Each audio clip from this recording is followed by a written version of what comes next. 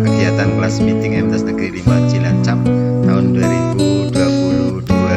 Ini adalah peserta kaligrafi kelas 7 dan kelas 8 perwakilan dari kelas masing-masing 28 peserta. Ya, inilah uh, mereka sedang berkreasi